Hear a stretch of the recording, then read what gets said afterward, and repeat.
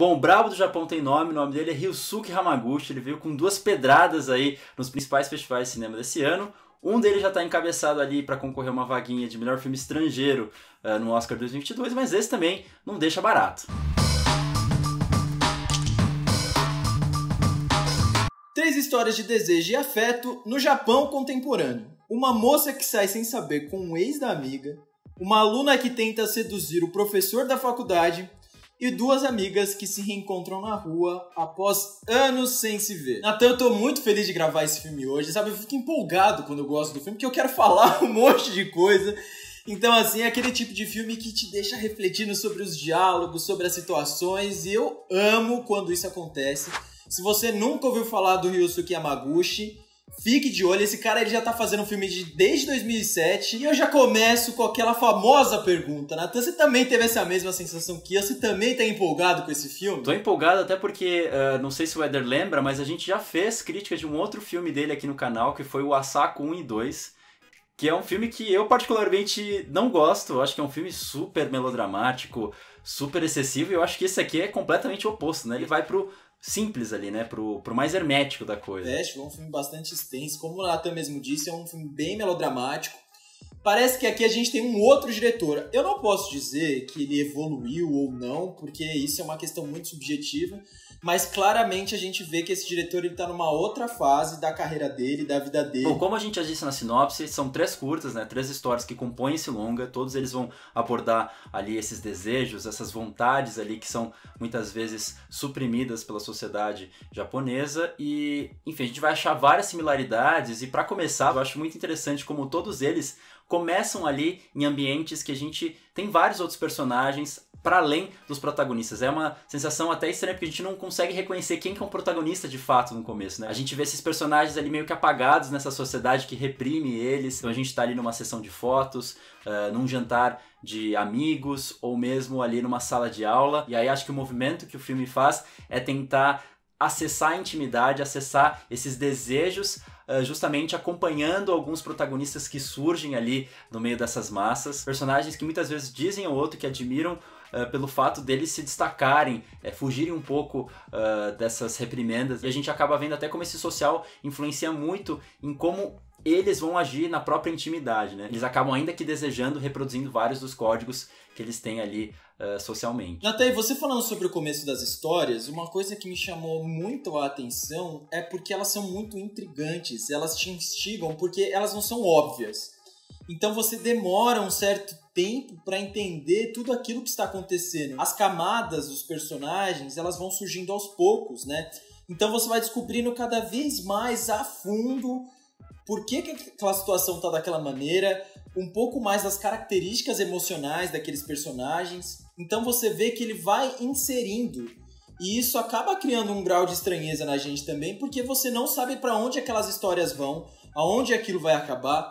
E isso foi muito legal porque ao fim de cada história eu me sentia surpreendido porque eu de fato não sabia para onde ele estava caminhando. Não, eu concordo com você. Eu acho que isso acontece especialmente porque a gente tem é, uma coisa muito conflitante, né? Você tem, como eu estava dizendo, esses desejos que se chocam frontalmente com esses códigos que eles têm que respeitar. Então eu sinto que essa expectativa que você está dizendo, Éder, acho que parte até pelo fato da gente não saber se eles vão agir no final das contas pelo instinto ou por essas convenções sociais. E acho que isso acontece principalmente quando o filme vai lidar com erotismo, né? E eu acho que é engraçado porque várias vezes uh, você tem esses personagens que falam desses desejos e automaticamente já pedem desculpa por estarem externando isso. Todo o movimento que eles fazem parece demais, parece um risco, e aí automaticamente, por ser um risco, também acaba sendo mais tentador, acaba tendo um fator de sedução também um pouco maior. Em vários momentos eles têm abordagens bastante diretas, então a personagem vai falar que Uh, voltou a amar o ex, um outro que lê um conto erótico para uma outra pessoa, só que mesmo assim parece que o tempo inteiro eles não passam para a página 2, eles estão ali o tempo inteiro cozinhando, cozinhando, cozinhando. Então a sensação que eu tenho do filme é que ele está sempre dando um passo à frente, dá dois para trás, dá mais três para frente, e isso, como você disse, acaba desarmando a nossa expectativa. Você vê que boa parte desse desejo de pessoas falando sobre sexo vem muitas vezes das mulheres, né? De uma que fala sobre esse desejo sexual que ela tem em trair o marido, Uh, tem outra que fala sobre a vontade de transar com o cara prime na primeira vez e discute sobre isso. Então eu acho que isso são situações, me parecem que são tabus porque eu não vejo muito nos filmes japoneses e aqui ele traz isso de forma muito orgânica, de forma muito natural ali. E é óbvio que eu não tô dizendo aqui que esse foi o primeiro filme japonês que discutiu isso ou que trouxe isso à tona, né, num filme, óbvio que não. Nos anos 60 mesmo, a gente tem um filme chamado Império dos Sentidos que a gente enfim, tem sexo explícito, mas ali eu, eu, sinto muito mais uma objetificação da mulher do que um protagonismo dela, né? Então você vê que aqui são mulheres que têm suas vidas, né, suas profissões, Uh, têm seus lugares de poder na sociedade, mas discutem também sobre isso. Até porque eu acho que esses filmes dos anos 60 e 70, ainda que abordassem a temática do sexo, as mulheres acabavam sendo veículos ali uh, de emancipação, de entendimento uh, desses homens, e mesmo quando se situavam só entre eles ali, né? A gente tem aquele filme Funeral das Rosas, que tem personagens trans, mulheres ali como protagonistas. É, acho que também tem muito mais o fator da libertação, até mesmo do confronto com essas normas né, que a gente está falando ali sociais, esse choque com a sociedade uh, mais tradicional. E acho que aqui a proposta é completamente outra, né? Para ter uma conversa mais franca, né? Elas é, estão ali conversando por si só, mais pelo próprio prazer, elas são agentes do próprio prazer, do que é, de fato tentar aí se posicionar de uma forma social, em confronto com o resto da sociedade. Obviamente, não sei dizer também de que forma isso inaugurar no cinema japonês, mas acho que o filme está muito mais em sintonia com esse cinema é, de pequenos relacionamentos, pequenos atos que a gente vê muito encampado hoje pelo uh, Hong Sang-soo, ainda que eu acho que aqui o Hamaguchi ele dê muito mais liberdade, dê muito mais autonomia para essas personagens femininas existirem uh, à parte né, desse mundo masculino. Aliás, citando Hong Sang-soo, acho que é interessante a gente falar da parte estética aqui. Eu acho que a direção acaba articulando muito da dinâmica que a gente vê uh, colocada ali nos diálogos entre os personagens, né? A gente tem esses planos estáticos, poucos cortes, né? E esses personagens vão transitando ali pelo espaço, às vezes uma casa, às vezes um carro. É, então, essa mise-en-scène, né? esse balé desses personagens ali pelos espaços vão mostrando muito conforme eles vão ficando mais ou menos confortáveis, vão se aproximando, uh, ou às vezes eles vão para um canto oposto ali da tela e ficam meio que separados visualmente. Quanto mais confortáveis eles vão ficando, mais uh, planos fechados ali com os dois personagens próximos um do outro a gente vai vendo, até que a gente tem em certo ponto uh, cenas em que a gente está no ponto de vista de um personagem com o outro olhando diretamente para a câmera, como se a gente estivesse olhando ali, uma conexão ainda mais forte. É, a gente tem até, tava falando do Honk Sansou, né, para dar o, o gancho todo aqui, situações que a gente vê aqueles zoom super rápidos que a gente acaba associando no cinema contemporâneo muito fortemente ao Sansoi, que muitas vezes eu já critiquei porque eu achava que era usado de forma meio desmedida. Acho que aqui é muito assertivo as situações que a gente tem ali um personagem mais inseguro, ele vai lá e fecha com tudo para mostrar ele ainda cada vez mais claustrofóbico, ou pelo contrário, quando eles estão numa cena de muito afeto e você vê que eles, a gente quer entrar nesse afeto junto. Então acho muito bonito, né, que nessa sociedade que é super limitante, o desejo, né, antes do toque que a gente vê de algumas personagens aparece pelo visual. E aí essa direção contribui muito para isso. Nesse caso, o Nathan acabou de citar o Hank Sensor, era uma coisa que eu ia dizer e a gente não tinha discutido sobre isso, né? Para vocês verem aí até como nossas percepções aí em alguns momentos acabam ficando bastante casadas, né?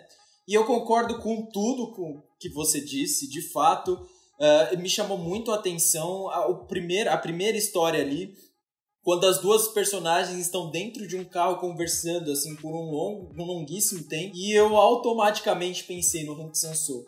Você vê que é aquele tipo de filme que exige muito do diálogo, que exige muito ali de, da interação entre os dois atores ali, atrizes. Então é um filme que às vezes não dá pra gente saber exatamente se eles estão seguindo um roteiro à risca ou se de fato eles também estão improvisando, né? Porque parece que há ali uma conexão muito forte entre eles. E o Zoom também me chamou a atenção, mas ele usa bem menos. E eu acabei tendo essa mesma percepção que você teve sobre quando ele usa e nos momentos que ele usa. Bom, a gente já falou várias vezes aqui de Sansou, já falou até mesmo das referências dele também. Vocês podem ver dos vídeos que a gente já fez dele aqui no canal e provavelmente vamos continuar fazendo.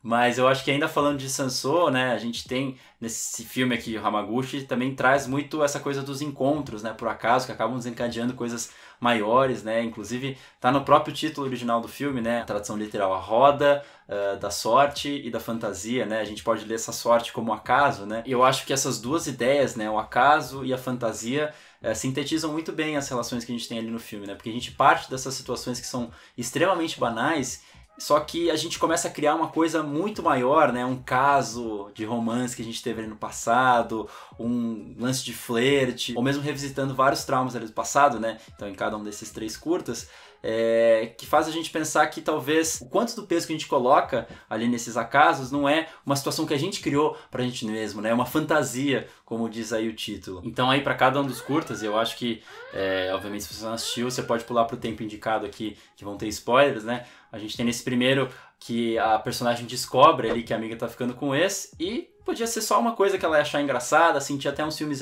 eventual, mas não, ela vai criar um caso em cima disso, é, tem a coisa do Stalker e tudo mais, e você sente que, na verdade, ela começa a fantasiar um romance com esse que certamente já acabou e que só foi despertado por essa situação.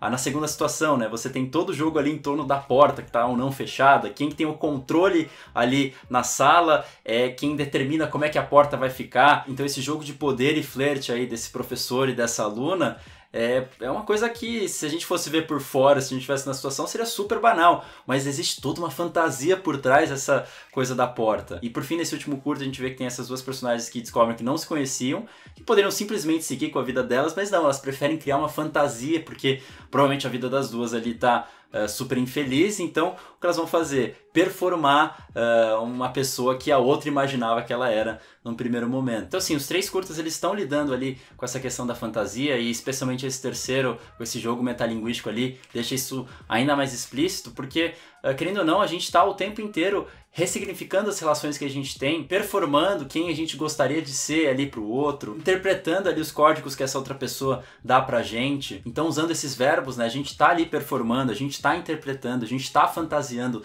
tudo parte desse jogo ali de dar um sentido a tudo isso, né? Ele pode não ser o que de fato era, porque se a gente for parar para ver quantas vezes a gente criou uma ideia de uma pessoa, desejou alguma coisa dela e aí a gente vai ver com a pessoa de fato ela não pensou nada disso. Então acho que assim, se relacionar em linhas gerais, é fantasiar o tempo inteiro, é refazer essas fantasias de acordo com novas uh, informações, novos acasos que vão surgindo ali nesse meio tempo e eventualmente a gente consegue se conectar com essas fantasias dos outros, mesmo ali que por breves instantes. Eu acho que são esses momentos que o filme uh, tenta privilegiar nesses três curtas. Oi, você falando de fantasia, né? Essas histórias, por mais que elas pareçam ser de personagens muito comuns, de personagens do dia a dia de situações corriqueiras, elas vão desse ponto para um ponto extremamente quase que surreal ali. Me lembrou muito, por exemplo, os livros do Haruki Murakami, que às vezes são personagens muito do cotidiano e ao longo do livro ele vai inserindo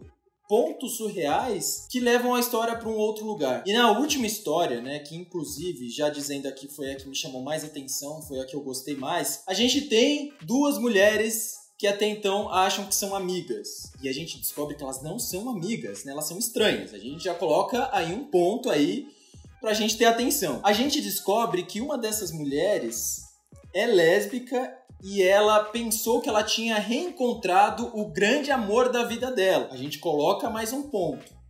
Logo em seguida, nessa progressão, essas duas mulheres começam a encenar e começam a contar coisas uma da vida das outras que elas jamais haviam contado para ninguém. E a gente sobe mais um tom ali no final da história que essa mulher que até então estava encenando, né, para tentar ali trazer um certo afago para aquela mulher que havia perdido o grande amor da vida dela, ela acaba dizendo que a vida dela não faz muito sentido, que ela não consegue mais sentir emoção. E ela vê naquele momento de suspensão um ponto de alívio e um ponto de, de felicidade, algo surreal, entre aspas, que acontece ali na vida dela. E, e, eu acho isso muito bonito, porque ele consegue fazer essa progressão. Você começa de algo muito cotidiano e termina em algo que para mim é uma situação muito surreal e, e, muito bonita e cheia de significado. Essa última história, inclusive, me lembrou o filme Cópia Fiel do Abbas Kiarostami, que é com a Juliette Binoche, que são, é um casal que eles começam a encenar uma relação e ela vai crescendo, vai crescendo, discutem a relação. É um filme incrível, eu recomendo a todos. Eu até já tô dando 20 recomendar antes. eu acho que é interessante a gente ter esse terceiro curto ali colocado no final, porque isso ressignifica até a própria encenação desses primeiros curtas, né? A gente começa a pensar, será que uh, o professor e a aluna tinham uma relação tão próxima ali como eles aparentavam? Será que aquelas amigas ali no começo têm essa relação tão próxima? Ou foi uma construção que a gente também uh, acabou não vendo, como a gente vê de forma mais explícita ali no terceiro? Mas eu acho que esse jogo metalinguístico acaba colocando tudo isso em xeque. E aí, já partindo pro final, acho que todos esses curtas eles estão bem alinhados, eles não têm ali um vilão, eles não têm ali um mocinho, eles não têm um que controla, um que é controlado, alguém que é egóico, alguém que é inseguro. Acho que de certa forma todos esses personagens ali no filme vão passando por cada uma dessas facetas. Como eu disse, acho que fantasiar é também ressignificar essas posições que você tem ali no meio. E em exemplos mais diretos, você vê essa personagem ali no primeiro curta que foi ali uh, muito mal com esse homem, traiu, é, foi stalker, como eu disse, acaba num senso de racionalidade deixando que isso tudo passe, ainda que tem um momento ali de fantasia que ela imagina uh, um outro final para aquela situação. É, você vê que no segundo curto, pelo contrário, aquela personagem que foi insegura, manipulada o tempo inteiro, ela vai ter ali uma pequena vingança. E nesse terceiro, essas pessoas que estavam super atormentadas acabam encontrando talvez na tormenta do outro uma certa pacificação. Então acho que em todos esses curtas você tem esses personagens que partem ali uh, de situações diferentes, mas acabam ali lidando com os mesmos códigos, né? Então, gente, em suma, assistam esse filme que ele é maravilhoso. Contem pra gente o que vocês acharam. E agora veio aquele ponto especial do vídeo que é o 20 recomendar. Eu hoje, né, seguindo, né, o padrão do vídeo, eu não tenho uma dica, mas eu estou ansioso para ouvir a dica do nosso queridíssimo aqui na que sempre tem algo muito bom para trazer pra gente. Pois bem, estamos falando aqui de cinema japonês, cinema oriental. Eu queria deixar aqui a recomendação de um canal uh, de cinema no YouTube, que hoje em dia já está bem grandinho, mas eu acho que é bem bacana porque, enfim, tá nessa leva aí de canais de vídeo ensaio, né, que tem essa coisa mais analítica, que não aparece a cara do, do sujeito ali, mas que tem uma proposta bastante nichada, que é falar de cinema oriental, Uh, não só filmes ali que tratam da cultura oriental nos Estados Unidos, mas principalmente ali de filmes na Índia, na China, no Japão, na Coreia. Então, é, tem bastante coisa ali para explorar e a gente que está aqui no Ocidente muitas vezes não tem contato, que é o Accented Cinema, né? Ele tem análises de filmes populares de lá, de filmes um pouco mais alternativos. Eu acho que é uma boa recomendação aí para você conhecer um pouquinho do cinema do outro lado do mundo, tá certo? Então lembrando, gente, não se esqueçam de se inscrever no canal, comenta aí o que vocês acharam, recomenda esse vídeo para outras pessoas, curte o vídeo, ajuda aí o youtuber aí emergente, tá bom? Muito obrigado se vocês chegaram até aqui. Espero que vocês tenham gostado do vídeo. Até a próxima. Valeu, um beijo. Tchau!